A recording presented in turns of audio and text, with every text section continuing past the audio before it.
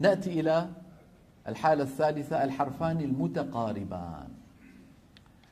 آه، على فكرة يا شباب إدغام المتماثلين وإدغام المتجانسين يدرس في علم التجويد لأنه مجمع عليه مجمع عليه بين القراء.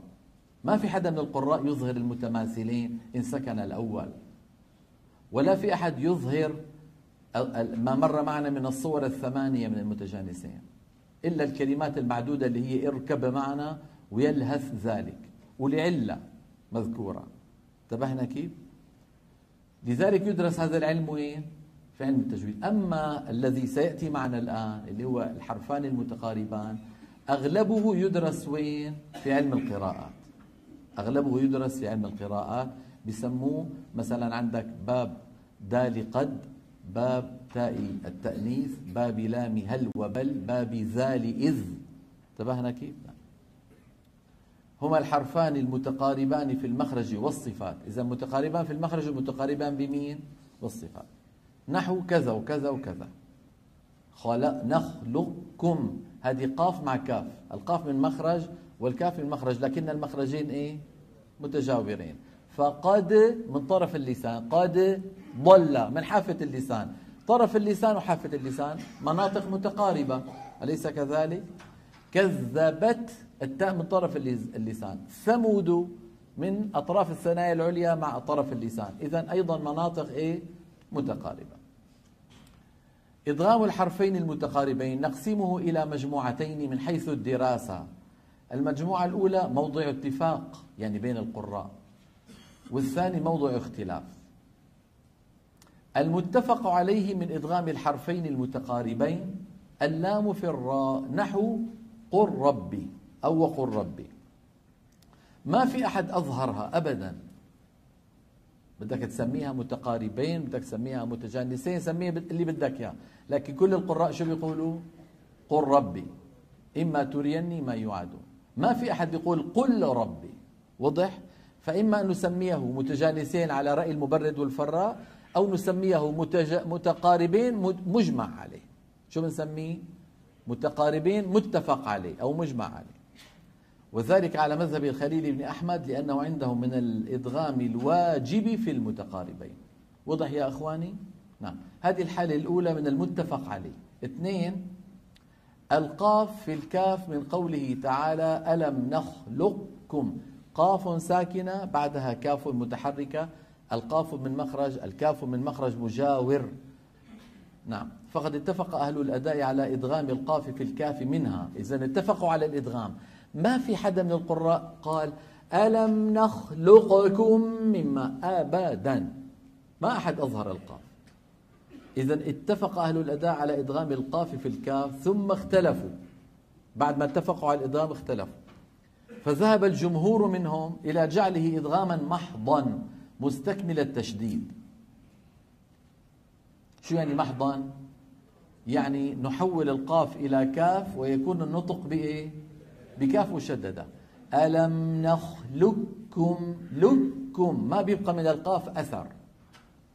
وذهب مكي بن أبي طالب وأبو بكر ابن مهران إلى الإدغام الناقص. إدغام الناقص بيشبه يلي مر معنا عند أحط وبسطة هذاك بنقول أبقينا صفة الإطباق هنا نقول أبقينا صفة لأنه الخاف ما فيها إطباق.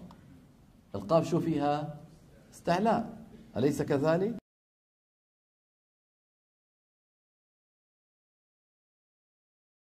جافي عن كاف. هكذا. ألم نخلق؟ لكم ألم نخلقكم من اقرأوا اقرأوا ورائي الأول اللي هو الإدغام الكامل. ألم نخلقكم من الآن حناخذ مين؟ إبقاء صفة الاستعلاء. ألم نخلق لق هذه قاف ها؟ ألم نخلقكم من ألم نخلقكم من مين أسهل؟ الإدغام الكامل هو الأسهل. فلذلك أغلب الطرق شو ذكرت ذكرت الإدغام الكامل. ابن الجزري رضي الله عنه ورحمه الله جزاه الله عنا خيرا لما جاء لينتقي الطرق ويضعها في النشر لم ينتقي من كتاب مكي بن أبي طالب آه، اللي هو التبصرة في القراءة السبع لم ينتقي منه ولا طريق مع أن فيه رواية حفص. ولم ينتقي من فين؟ من كتاب الغاية لأبي بكر بن مهران أي رواية عن حفص. لذلك كل الطرق المنتقى في النشر وعددها 54 سلسلة من عدة مؤلفات لمؤلفين سبقوا ابن الجزري أودعها في النشر كلهم مطبقون على إيه؟ على إدغام القاف في الكاف إدغاما كاملا. فقول إمامنا الجزري في الجزرية والخلف بنخلقكم وقع هو يتكلم على الموضوع بشكل عام. ما يتكلم عن رواية حفص عن عاصم. الموضوع بشكل عام نعم هناك إدغام محض مستكمل التشديد كاف مشددة وهناك إبقاء صفة الاستعلاء. لكن إن أردت أن تكون دقيقا لما بتقرأ برواية حفص سواء من طريق الشاطبية أو من طرق الطيبة ولا طريق منها أعمل إيش؟ أبقى صفة الاستعلاء. وضح؟ وذهب مكي بن أبي طالب وأبو بكر ابن مهران إلى الإدغام الناقص فيه وذلك بتبقية صفة الاستعلاء وهي على رواية حفص من طريقي الشاطبية والطيبة بالإدغام الكامل. وعلامته تجريد القاف من السكون مع تشديد الكاف. لو فتحتم أي مصحف من مصاحفنا المضبوطة برواية حفص تجدون القاف ليس عليها شيء والكاف شو عليها؟ شدة وفتحة شدة وضمة. نعم. الحالة الثالثة من المتفق عليه من المتقاربين ويدرس في علم التجويد اللام الشمسية عند ثلاثة عشر حرفا. نعم. سيأتي بيانها. معروفة هذه الأبحاث. النون الساكنة والتنوين في حروف لم يروي. يعني هي يرملون لكن بدون النون. هذه الإدغام فيها من قبيل إيش؟ من قبيل المتقاربين. لما بنقول مثلا من لدنه نقول من لدنه ما علاقة النون باللام؟ علاقة تقارب. لما بتقول فمن يعمل ما علاقة النون في الياء؟ علاقة تقارب. وضح يا أخواني إذا حروف الإدغام التي ندغمها في النون الساكنة والتنوين ما عدا النون لأنه النون مع النون هذا إيه؟ متماثلين. ما عدا هذا حروف إيه؟ فهذا من المتقارب المجمع عليه. وضح يا شباب. إذا الله يسلمكم كم صورة صاروا من المتفق عليه في المتقاربين؟ أربعة. أين تدرس؟ في علم التجويد. يبحث أما المختلف فيه هذا العنوان الآن المختلف فيه من إدغام الحرفين المتقاربين يبحث عنه في علم القراءات. وذلك نحو إدغام الدال في الضاد فقد ضل. ومن القراء من يقول إيه؟ فقد ضل بضاد مشددة. التاء في الثاء كذبت ثمود آه، حفص يظهرها لكن بعض القراء شو بيعمل؟ يدغمها فيقول إيه؟ كذب الثمود والله أسهل أسهل. كذب الثمود أسهل. واو ما بدها كلام. شوف هلا وإذ زين لهم الشيطان. جربها هيك. وإذ زين والله ثقيلة يا جماعة ثقيلة. بينما وإذ زين وإذ شوف ما اسهلها ما أحلاها. يا ريته حفظ عملها هيك وريحنا بس يعني القراءة مبنية على إيه؟ على التلقي والرواية. وما لقياس في القراءة مدخل كما قال إمامنا الشاطبي. وحفص عن عاصم يظهر ذلك كله أو كله. طيب الحرفان الحالة الرابعة من التقاء الحروف قلنا هي عبارة عن الحرفان المتباعدان. يعني لا المخرج متقارب ولا متماثل المخرج ولا هما حرفان متجانسان. حرف من الشرق وحرف من الغرب. شو العلاقة بينهم؟ علاقة تباعد. معناها لا في إدغام ولا في شيء. وضح أخواني؟ هما الحرفان المتباعدان في المخرج والصفات. نحو من آمن. هذا الأصل. إذا الأصل في التقاء الحروف هو الإظهار أيها الإخوة. الأصل في التقاء الحروف هو الإظهار. أنعمت أن النون مظهرة عم الميم مظهرة علي الياء مظهرة. شايف؟ يؤمنون الهمزة الساكنة مع الميم الهمزة من الحلق والميم من الشفتين. ما علاقة الهمزة بالميم؟ ما في علاقة. علاقة تباعد. أليس كذلك؟